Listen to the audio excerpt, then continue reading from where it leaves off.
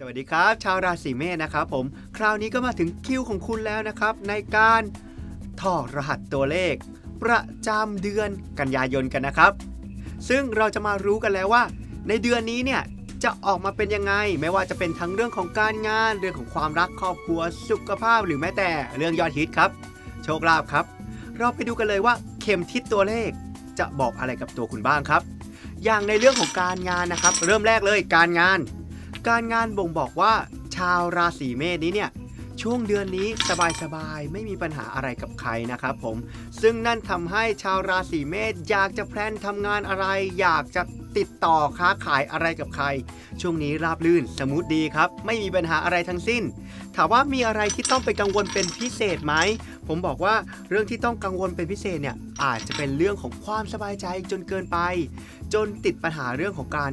เชื่อใจคนมากเกินครับผม เรื่องของการเซ็นสัญญาหรือเรื่องของการรับปากใครส่งส่งเนี่ยอาจจะทำให้มีปัญหาเรื่องของการงานได้ครับ ครับผมแล้วเรามาดูกันบ้างนะครับสำหรับเรื่องของการเงินแล้วในช่วงนี้เนี่ยสำหรับชาวราศีเมษจะเป็นยังไงบ้างครับผมเข็มทิศตัวเลขนี้เนี่ยมันบ่งบอกมาว่า ในเรื่องของการเงินในช่วงนี้เนี่ยบอกว่าไม่สะดุดกันเลยทีเดียว เมื่อกี้ที่บอกว่าการงานดีไปแล้ว การเงินก็ย่อม ดีด้วยนะครับผม พอเป็นแบบนี้เนี่ยหลายๆคนที่อยู่ในชาวราศีเมษเนี่ยก็คงจะสบายใจกันแล้วใช่ไหมล่ะครับ โดยในเดือนนี้ต้องบ่งบอกว่าใครก็ตามที่ทำงานเกี่ยวกับสายของการค้า จะได้ผลกำไรมากเป็นพิเศษเลยนะครับ เพราะฉะนั้นสบายใจกันสุดๆไปเลยนะครับ ต่อมาเรามาดูกันที่เรื่องของความรักกันดีกว่านะครับสำหรับความรักนี้เนี่ยเราก็มาดูกันที่คนโสดกันก่อนเลย สำหรับคนโสดนะครับผมต้องบอกว่าในช่วงนี้มีเกณฑ์ได้รักคนที่มีเจ้าของแล้วนะครับผมเรื่องนี้น่ากลัวและน่าสับ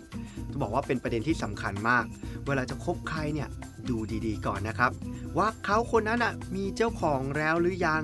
ตรวจเช็คกันดีๆ เลยทีเดียว ไม่งั้นแล้วแจ็คพอตเจอคนที่มีเจ้าของ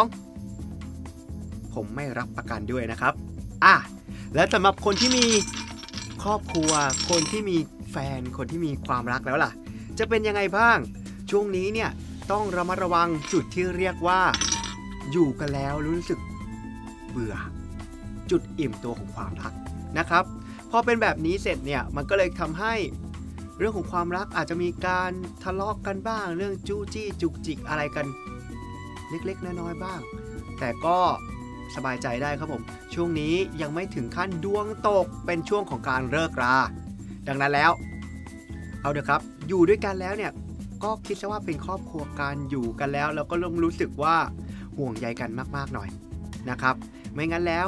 เราจะเป็นแฟนกันทำไมจริงไหมครับสำหรับเรื่องของสุขภาพแล้วเนี่ยสุขภาพเนี่ยก็เป็นเรื่องที่สำคัญอีกอย่างหนึ่งนะครับ ผมเราจะขาดไม่ได้เลย แต่ว่าพอถอดรหัสตัวเลขออกมาแล้วเนี่ยเข็มทิศตัวเลขของคุณได้บ่งบอกว่าช่วงนี้มีเกณฑ์สูงเลยที่จะเกิดสิ่งที่เรียกว่าอุบัติเหตุขึ้น เรื่องโรคภัยร้ายแรงอะไรผมไม่รู้ แต่เรื่องของอุบัติเหตุน่ากลัวที่สุดในช่วงนี้ ดังนั้นแล้วแม้แต่ในเรื่องของการข้ามถนน มองซ้ายมองขวาดีๆ มองซ้ายแล้วมองขวากลับไปมองซ้ายอีกครั้งหนึ่งเดี๋ยวจะมีการถูกเฉี่ยวชนได้ครับ ระวังนะ เพราะฉะนั้นแล้วสุดท้ายเรื่องที่ยอดฮิตสำหรับใครหลาย ๆ คนหรือจะเรียกว่าโหเยอะมากเลยก็คือนั่นคือเรื่องของโชคลาภนั่นเองนะครับ เรื่องของโชคลาภนี้เนี่ย พอถอดรหัสตัวเลขออกมาแล้ว บ่งบอกว่าชาวราศีเมษในเดือนกันยายนนี้ ไม่มีโชคมีลาภให้ ได้เสี่ยงกันนะครับ เพราะฉะนั้นแล้ว ผมแนะนำเก็บเงินไว้ดีกว่า